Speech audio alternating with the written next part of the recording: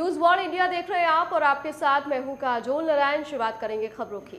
हरदोई की टड़ियावा और पिहानी पुलिस की संयुक्त टीम ने तीन अंतर जनपदीय शातिर चोरों को गिरफ़्तार किया है।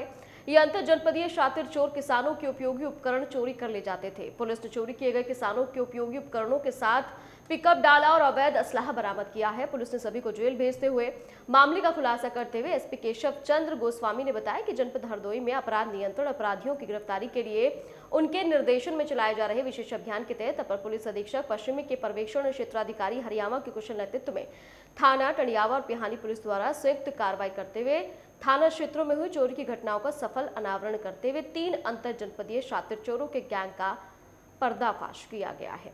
कि थाना क्षेत्र पिहानी और टनियावा जनपद हरदोई के किसानों के इंजन और उनके कल्टीवेटर आदि चुराने की सूचनाएँ मिली थी। जिसमें थाना पिहानी पर दो अभियोग पंजीकृत किया गया था और टणियावा पर एक अभियोग पंजीकृत था। तो हमारी टीम ने, चौकी इंचार्ज और टणियावा इंस्पेक्टर साहब और उनकी टीम ने इसको पता लगाया और इसमें तीन अभियुक्त गिरफ़्तार किए गए हैं। हरदोई ज़िले में आलू खरीदने के दौरान दो पक्षों में जमकर मारपीट हो गई और दोनों पाली थाने के सामने तहरीर लिखा रहे थे, तभी दोबारा मारपीट हो गई। सूचना पर मौके पर पहुँचे पुलिस ने दोनों पक्षों को हिरासत में लिया है। मारपीट का एक वीडियो भी सोशल मीडिया पर वायरल हो रहा है। मारपीट का एक लाइव वीडियो पाली थाना गेट के सामने का है। दरअसल पाली थाना क्षेत्र के निजामपुर गाँव में खेत पर गयासुद्दीन और रिलायंस के बीच आलू खरीदने के दौरान मारपीट हो गई, जिसके बाद गयासुद्दीन पाली थाने के सामने तहरीर लिखाने आए थे। बताया जा रहा है कि तभी रिसालत भी वहाँ पहुँच गया और दोनों पक्षों के लोग एक बार फिर आपस में भिड़ गए। दोनों पक्षों में काफ़ी देर तक मारपीट होती रही। इस बीच किसी ने पुलिस को सूचना दी। मौके पर पहुँची पुलिस ने दोनों पक्षों के लोगों को हिरासत में लिया। वहीं मारपीट का वीडियो बनाकर किसी ने सोशल मीडिया पर वायरल कर दिया है। इस मामले को लेकर अपर पुलिस अधीक्षक पूर्वी निपेंद्र कुमार ने बताया कि मामले में आवश्यक कार्रवाई की जा रही है। कानपुर चकेरी थाना क्षेत्र में बीती दिनों किसान बाबू सिंह यादव की खुदकुशी के मामले में मृतक की बेटियों ने कानपुर चकेरी थाने की पुलिस पर आरोप लगाते हुए आरोपी से मिले होने का आरोप लगाते हुए पुलिस कमिश्नर और जेसीपी से मुलाकात की है। वहीं आरोपी आशु दिवाकर रंजन की जल्द गिरफ्तारी की मांग की है। मुलाकात करने आए मृतक किसान की बेटियों ने बताया कि मृतक किसान बाबू सिंह यादव को खुदकुशी के लिए 80 दिन हो गए हैं। और कानपुर पुलिस अभी तक आरोपी आशु दिवाकर रंजन की गिरफ्तारी नहीं कर पाई है, जिससे परिवार में दहशत का माहौल है। पीड़ित बेटियों का यह भी कहना है कि आरोपी आशु दिवाकर बार बार न्यायालय और पुलिस को झूठा शपथ पत्र के माध्यम से गुमराह कर रहा है और शहर में ही रहकर पुलिस को गुमराह कर माननीय हाईकोर्ट में जमानत की अर्जी लगाकर सजा से बच रहा है। पुलिस अभी तक आरोपी द्वारा किसान बाबू सिंह यादव की ज़मीन को वापस नहीं करा पाई है और पीड़ित किसान की बेटियों ने पुलिस पर भी अभद्रता करने का आरोप लगाते हुए अधिकारियों से शिकायत की, जबकि पुलिस अधिकारी अनंत प्रकाश तिवारी का कहना है कि आरोपी आशु दिवाकर रंजन पर कार्रवाई करने की तैयारी कर सजा दिलाई जाएगी। पूर्व में आशु दिवाकर रंजन ने कुछ पुलिस अधिकारी के संपर्क में होने की बात कह। अस्पताल में भर्ती होने की झूठी बात कही थी। आरोपी सजा से बचने के लिए भरपूर कोशिश कर रहा है, लेकिन पुलिस कहीं से भी उसे बचाने की कोई गुंजाइश नहीं छोड़ेगी। कासगंज में शिक्षक संगठनों ने अपनी मांगों को लेकर धरना प्रदर्शन किया। सभी शिक्षक संगठनों ने ऑनलाइन उपस्थिति के विरोध में धरना प्रदर्शन किया। शिक्षा विभाग ने समय पर शिक्षकों की विद्यालय में उपस्थिति न होने पर वेतन काटने के आदेश दिए हैं। शिक्षा विभाग के द्वारा दिए गए आदेश, शिक्षा संगठनों ने शिक्षा विभाग द्वारा दिए गए आदेशों को वापस लेने के लिए धरना प्रदर्शन किया। सैकड़ों शिक्षक, शिक्षिकाओं ने मुख्यमंत्री के नाम संबोधित ज्ञापन बीएसए को सौंपा है। गंजडवारा, बीआरसी केंद्र पर शिक्षक, शिक्षिकाओं ने नारेबाजी कर धरना प्रदर्शन किया। झांसी में जीएसटी विभाग की टीम ने छापेमार कार्रवाई की है, जिससे व्यापारियों में हड़कम बच गया। टीम ने दुकान के गोदाम में जाकर सारे दस्तावेजों की छानबीन की है। वही डिप्टी कमिश्नर पुतिन नियोतनिद ने बताया कि एक फार्म द्वारा इस वर्ष कोई भी रिटर्न जमा नहीं किया गया है, जिससे उसकी दुकान और गोदाम में रखे सामानों की जाँच की गई। जाँच के बाद जो भी तथ्य सामने आएँगे, उस आधार पर कार्रवाई की जाएगी झांसी में ऐसे कई व्यापारी हैं जो जीएसटी के नियमों का पालन नहीं कर रहे। उनके खिलाफ भी विभाग द्वारा आने वाले समय में कार्रवाई अमल में लाई जा सकती है। एक फर्म है जो पान मसाला और सिगरेट की खरीद बिक्री में इन्वॉल्व है। उनके द्वारा रिटर्न नहीं दाखिल किया गया इस वर्ष कोई भी। सिर्फ़ इस आधार पर उनकी जाँच की जा रही है और बाकी जाँच के बाद जैसी भी होगी, उसके बाद में आगे की कार्रवाई की जाएगी। यहाँ पे करीब हमारे पास दो असिस्टेंट कमिश्नर मोबाइल स्क्वाड के और उनके साथ में चार सीटीओ और पुलिस फोर्स वगैरह सब लगा हुआ है। झांसी के बरुआ सागर थाना अंतर्गत आने वाला पीपा पुल, जो कि परीक्षा चौकी में भी आता है, देर रात लगभग 12 बजे एक 18 साल का युवक नदी में जा गिरा, जिसकी अभी तक उसका पता नहीं चल पाया है। पूरा मामला परीक्षा चौकी और बरुआ सागर थाना का है। परीक्षा चौकी और बरुआ सागर के बीच बना नदी का पीपा पुल बहुत ही मशहूर है।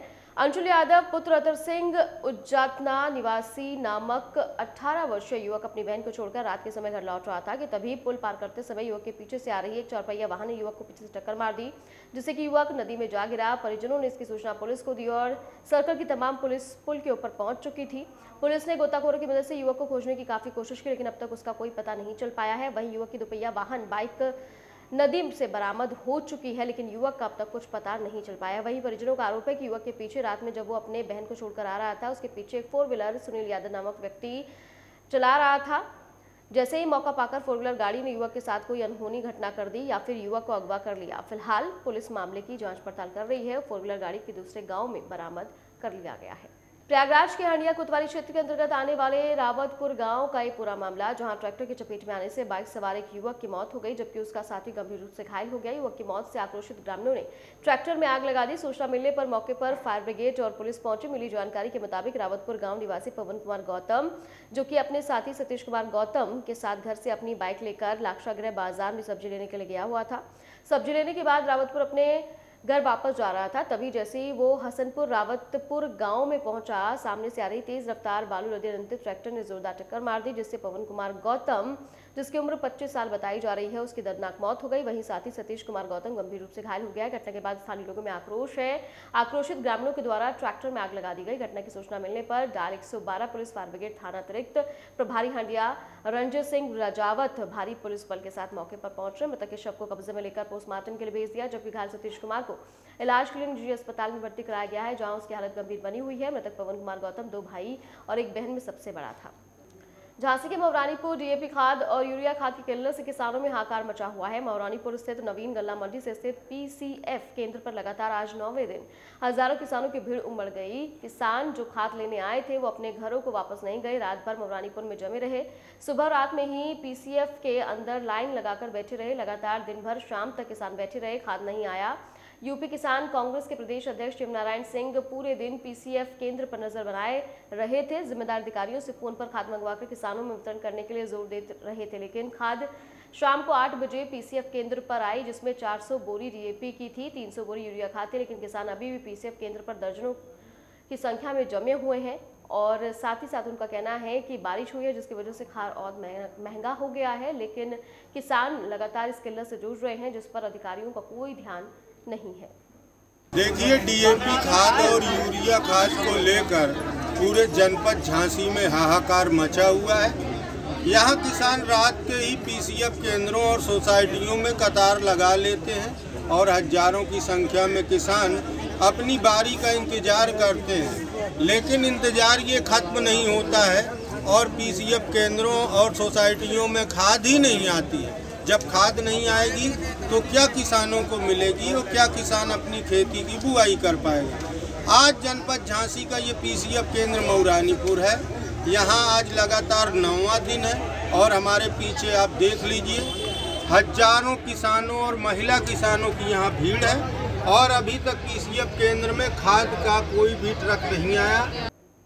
फरुखाबाद में भारतीय किसान यूनियन भानु के राष्ट्रीय अध्यक्ष भानु प्रताप सिंह ने पीएम मोदी के लिए विवादित बयान दिया है। उन्होंने पीएम मोदी को राक्षस बताकर खुद को अर्जुन की भूमिका में बताया। शहर के मोहल्ला सेनापति स्थित एक प्रतिष्ठान पर पहुँचे राष्ट्रीय अध्यक्ष भानु प्रताप सिंह ने प्रदेश कार्यालय का शुभारंभ किया। उन्होंने कहा कि पूर्व में जितने भी पीएम हुए, उन्होंने जब चाहा तो उनकी मुलाकात हुई, लेकिन ये लोकतंत्र के पीएम मोदी हैं जो एक मिनट का समय किसान हित में मिलने का नहीं दे रहे।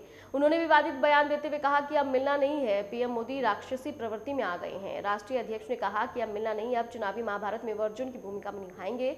तब महाभारत में जाने जाती थी, लेकिन अब मशीन को किट दबाएँगे और पिट हराएँगे और सिट जिताएँगे। उन्होंने कहा कि किसान क्रांति दल का गठन है, जिसके तहत वो लोकसभा का चुनाव, सभी सीटों पर चुनाव लड़ाएँगे। उन्होंने कहा कि जो किसान की बात करेगा, वो देश पर राज करेगा। सरकार ने किसानों को कुछ नहीं दिया। युवा प्रदेश अध्यक्ष पवन समाधि जिलाध्यक्ष नरेंद्र सोमवंशी तमाम लोग यहाँ पर मौजूद रहे। कासगंज में दो बाइकों में आमने सामने की जोरदार टक्कर हो गई। हादसे में बाइक सवार तीन लोग गंभीर रूप से घायल हुए ग्रामीणों और राहगीरों ने घायलों को गंजडवारा सीएससी में भर्ती कराया। सीएससी पर डॉक्टर्स ने घायलों को प्राथमिक इलाज दिया। डॉक्टर ने दो घायलों की हालत गंभीर देख अस्पताल रेफर कर दिया। कोतवाली गंजडवारा क्षेत्र के राम छिनौती पुलिया के समीप यह हादसा हुआ। सोनभद्र का ये पूरा मामला है। रॉबर्ट्सगंज थाना अंतर्गत ग्राम नागा नगर हरैया का, जहाँ बीते दिनों घर के रास्ते को अवैध कब्जा करते हुए सकरा किए जाने पर विरोध करना एक 80 साल के बुज़ुर्ग के साथ घर की महिलाओं को महँगा पड़ गया।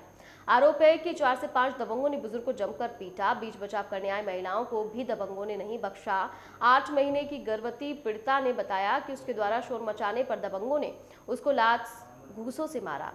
बता दें कि चोट के बावजूद भी थाने पर जाने के लिए ऑटो में बैठकर जिला अस्पताल भेज दिया गया, लेकिन आरोपियों पर कोई कार्रवाई नहीं की गई। पीड़ित महिलाओं का कहना है कि जिस वक्त दबंग मार रहे थे, उस वक्त उनके घर में कोई भी मर्द मौजूद नहीं थे।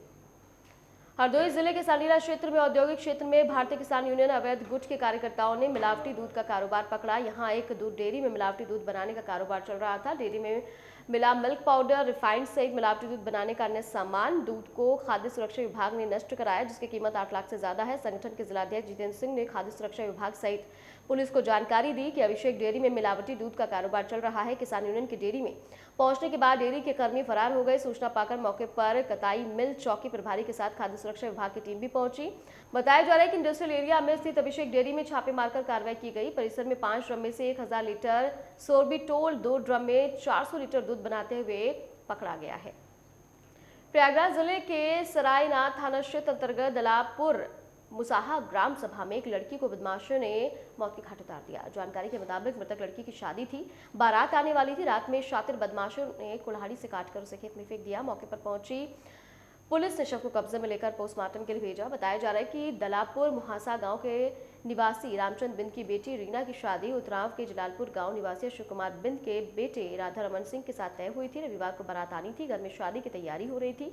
दहेज में देने के लिए मोटरसाइकिल के साथ सभी सामान घर पर आ गया था, लेकिन घर के पास खेत में लड़की की हत्या अज्ञात बदमाशों द्वारा करके मौत के घाट उतार दिया गया। पुलिस ने शव को कब्जे में लेकर पोस्टमार्टम के लिए भेज दिया है। हत्या क्यों की गई है? इसके पीछे का कारण भी पुलिस तलाश रही है। विश्व एड्स दिवस, उत्तर प्रदेश राज्य एड्स नियंत्रण सोसाइटी, उत्तर प्रदेश लखनऊ के निर्देशों के अनुपालन में समुदाय को नेतृत्व करने दे विषय पर जागरूकता गोष्ठी और हस्ताक्षर अभियान का आयोजन टीबी सेनेटोरियम के सभागार में किया गया। इस मौके पर विशेष तौर पर पधारे जिला विधिक सेवा प्राधिकरण के अपर जिला जज भूपेन्द्र प्रताप सिंह और सहारनपुर नगर के महापौर डॉक्टर अजय सिंह का सर्वप्रथम मुख्य चिकित्सा अधिकारी डॉक्टर संजीव मांगलिक और जिलाध्यक्ष रोगे अधिकारी सर्वेश कुमार सिंह द्वारा पुष्प भेंट कर स्वागत किया गया, जिसके बाद सभी अतिथियों ने रेड रिबन पर कैंडल जलाई और बड़े पोस्टर पर एड्स जागरूकता के लिए इस साल के थीम के नीचे हस्ताक्षर किए। इसके बाद सर्वप्रथम जिला शहर रोगी अधिकारी द्वारा एड्स के लक्षण और बचाव के उपाय बताए गए। और इसी के साथ फ़िलहाल खबरों में इतना ही। आप बने रहिए न्यूज़ वॉल इंडिया के साथ।